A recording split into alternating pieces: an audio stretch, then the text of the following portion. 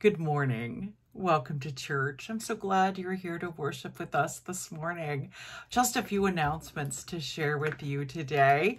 Uh, first of all, don't forget we have coffee hour after this service. So at 11 o'clock, just pop into the Zoom call and you'll see information at the end of the service on how to enter into that Zoom call. Would love to have you there also, just a reminder, we are now working on uh, collecting underwear for uh, Victory Ministries, and we will do it through the entire month of September.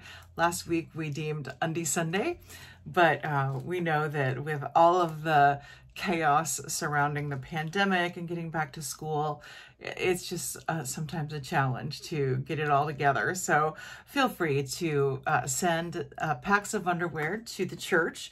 Uh, our family did that through Amazon, but you could use any other uh, store at all to do that. You can also drop drop off packs of underwear uh, during the day and we will receive those from you. Thank you so much already for your, uh, in advance, for your donations. You're always so good about those sorts of things. So thank you with that.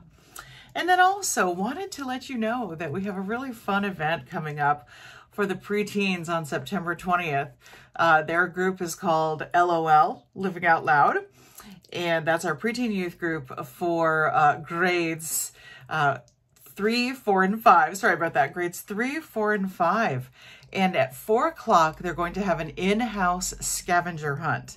So you're going to want to log on uh, right at the right time and the kid finding the most items around the house from the wild and crazy list in two minutes will win a prize. So it's going to be really fun. Uh, Miss Holly has put this together and it just sounds like a hoot. So hopefully you'll be able to participate. Those of you uh, with children uh, in those uh, grades, third, fourth, and fifth. Then also wanted to let you know that our Thursday conversation coming up this week will be such a good one. They always are.